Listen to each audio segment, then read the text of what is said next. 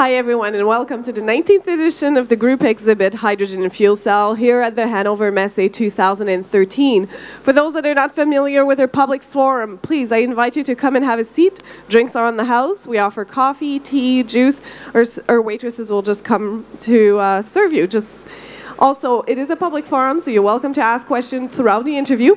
Uh, raise your hand, and I'll come and see you with a microphone. Uh, we will discuss with Air Liquide perspective and challenges in the fuel cell and hydrogen sector by 2020. Please help me welcome the Managing Director of Advanced Technologies at Air Liquide, Dr. Antoine Mazas. Thank you. Please have a seat. It's a pleasure to have you with us. Um, I think the first thing that would be very important to talk about right off the bat is um, Air Liquide has created a new entity, and I would like you to tell us about that, please. Thank you. Thank you for the, the welcome and the opportunity to, to have the, the floor here. First of all, I would like to apologize on behalf of uh, Pierre-Etienne Franc, who is heading the uh, advanced businesses and technologies at, at Air Liquide in Europe. Unfortunately, he was not able to join today, so I'm replacing him. Um, second remark I would like to do, I hope you, you appreciate the effort I made to be at the official colors of the fair. Was not completely planned, but uh, anyway. It'll make So- good pictures. Yeah. That's to be in the in the leaflet next year, you know. So indeed, you have uh, mentioned it. Um, Air as you know, uh, has been taking part in the hydrogen business as a whole for more than 40 years. We have been involved really deeply in the hydrogen energy developments since now two decades. And we have created last year, specifically in Germany, a dedicated subsidiary which is called Air Advanced Technologies GmbH to uh, develop the technology here in Germany and to address the emerging markets we are going to, to talk about in a few minutes. So this entity uh, is based in Düsseldorf, have some dedicated staff, and we will uh, really focus on advanced business and technologies in three different domains. So the first domain is space activities. As you may know, Air Liquide is part of the European Space Adventure for more than 25 years. We are designing and manufacturing the cryogenic uh, tanks of the Ariane rocket. And uh, there, were, there were lots of uh, political discussions in the last years.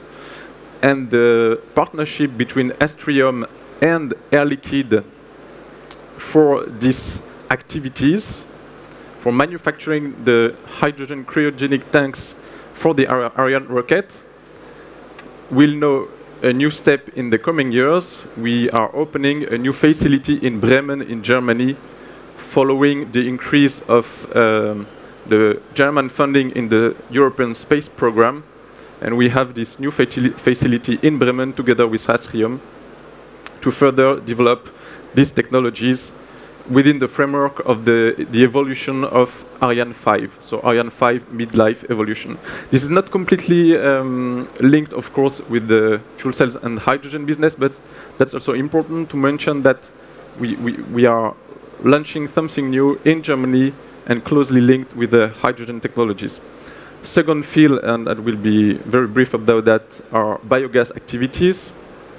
We are designing and manufacturing biogas purification units for upgrading the biogas and obtain biomethane that could be injected in the grid. And the third pillar for this new entity are, of course, hydrogen energy activities.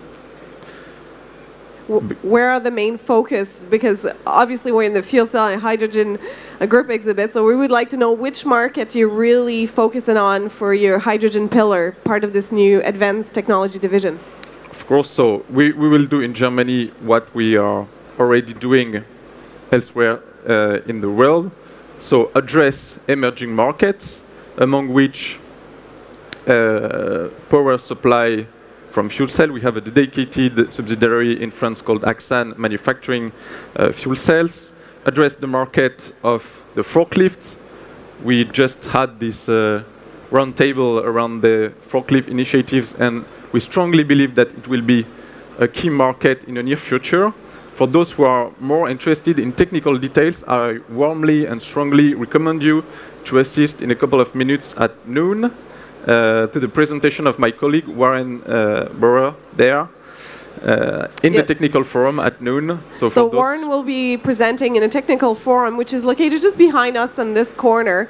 Uh, at noon, he will be presenting some of the details and the technical details of the fleet forklift uh, servicing. Um, so I invite you to join them. Yeah, very interesting. So please join there. Um, we also contribute developing the energy storage technologies from, from uh, renewable energy. We have also to expand our green hydrogen capacities in Germany because, as you may know, we have huge quantities of conventional hydrogen in Germany. We want to decrease our carbon footprint, and we, we will expand in the coming years our production capacity to have more green hydrogen available on the market. We are part of some major mobility programs. Uh, Air Liquide signed the letter of intention with a couple of partners last year uh, in June 2012 announcing that we committed to build 10 refueling stations within the Clean Energy Partnership throughout Germany, with the objective, as you know, to have 50 hydrogen refueling stations available in the country by 2015, and this will be the first skeleton of the hydrogen distribution uh, infrastructure in the country. So out of those 50 stations, Air Liquide has partner and say we will provide 10. Is that correct? Absolutely.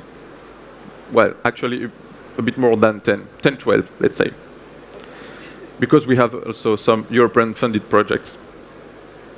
And finally, we are an act- active partner uh, in the H2 Mobility Initiative, which is the ini- initiative gathering all uh, the industrial companies interested in building the refueling infrastructure in Germany by 2030 and we are one of the, the core partners uh, together with uh, Linde, Shell, Total, Daimler for this, uh, for this initiative. And we are actively working on that.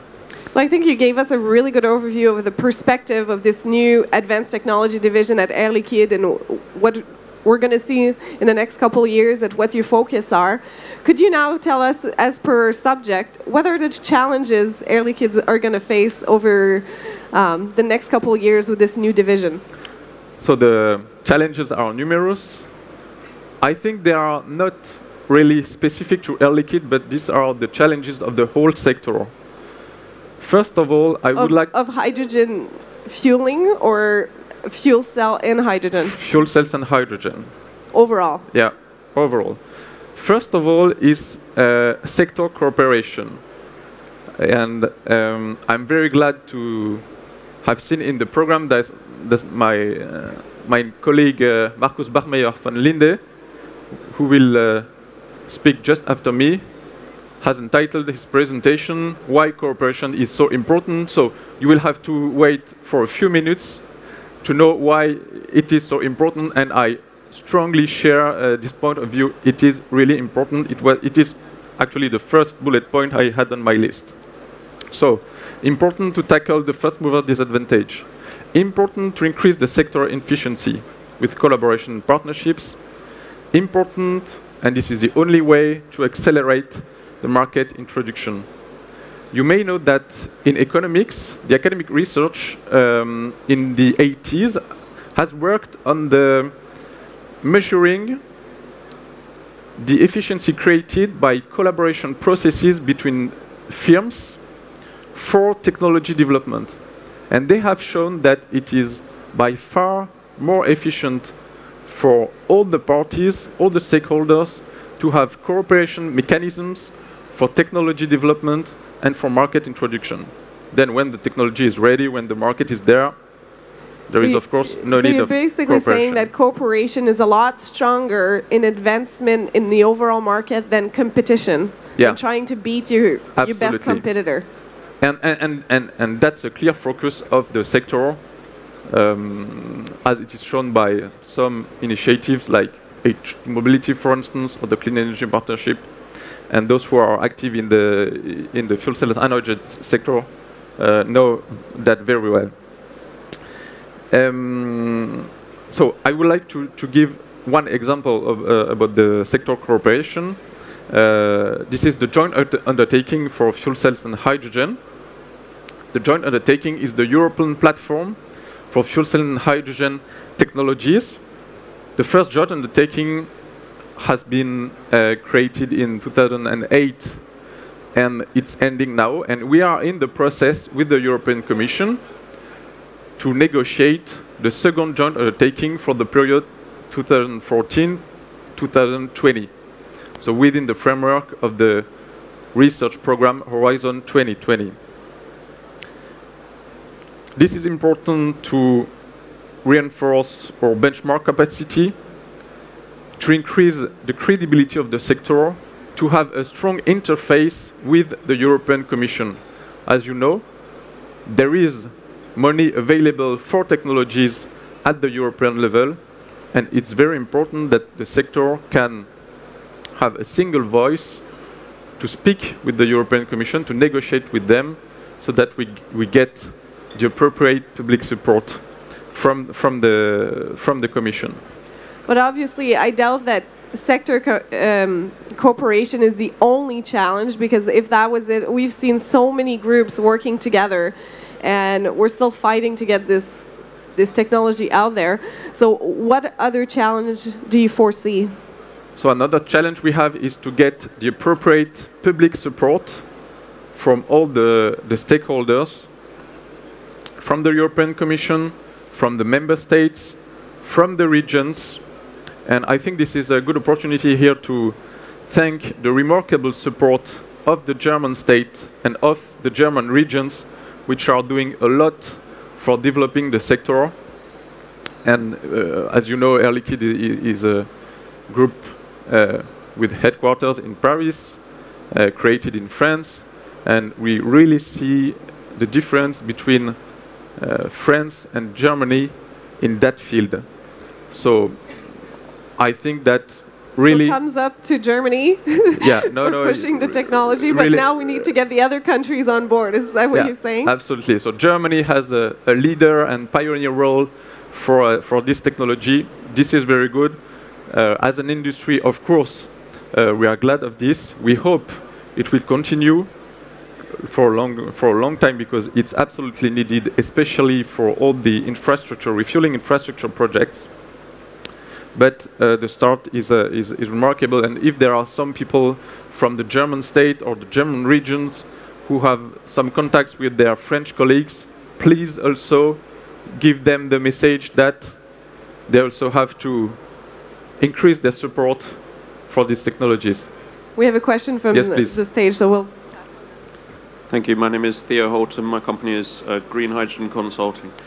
And um, I'm interested in what makes you say that about Germany. Obviously, we've heard an announcement from Frau Merkel that there will be um, 50 hydrogen filling stations around the entire German motorway network. Um, d- do you think are, are there other other aspects of uh, German economy and which offer support to hydrogen and fuel cells that you're thinking of, or is it simply that?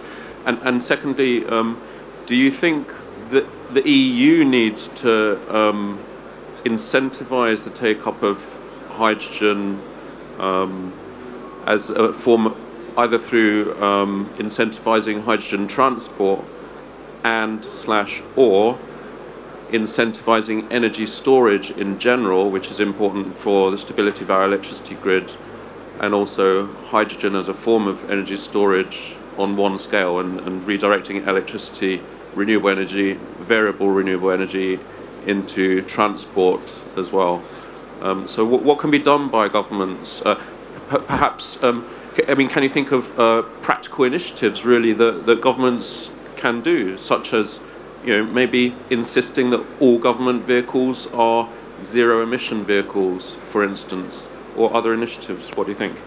I think there's threefold to this question, so we'll get to the first part, um, it, where he would like to know how do you say that Germany is leading and why? Yeah, I, I, I think, first of all, um, there is really a strong spirit of innovation in Germany.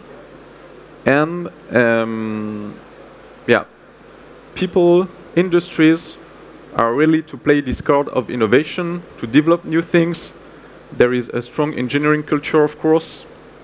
And uh, basically, people are, are, are willing and are happy to test new technologies, to support them, to, to, to develop them, and this is very positive. Second part of your question, there is a clear uh, financial support fro from NOW and OV, so the German national uh, funding agency for fuel cells and hydrogen. And well, you can easily um, find the public uh, information which is available regarding all the funding sources uh, they are providing to the market and they are uh, supporting lots of different initiatives. To, for your question regarding uh, Europe, yes, of course, the European Union has a strong role to play, and this is why we, together with the industry, are very active in the joint undertaking. And we believe that the joint undertaking and the industrial grouping of the joint undertaking should be the right interface with the European Commission and with the European Union to push for hydrogen and fuel cells technology.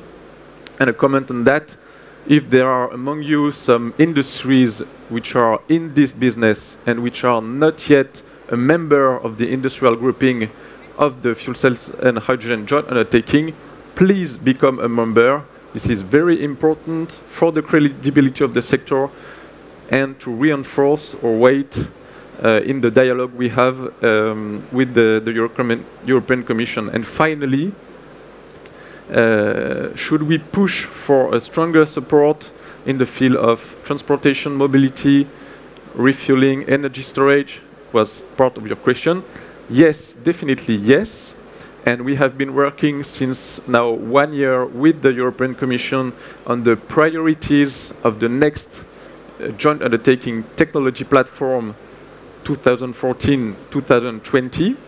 And this pr the priorities, exactly the ones that you mentioned, uh, together with stationary applications, are at the heart of the development program.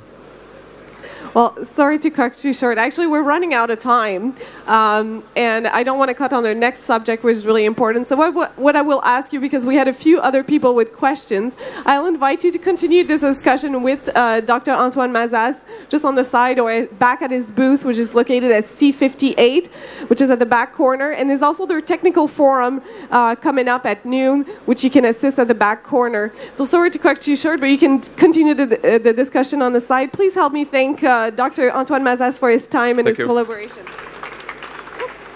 Sorry, thank you very much.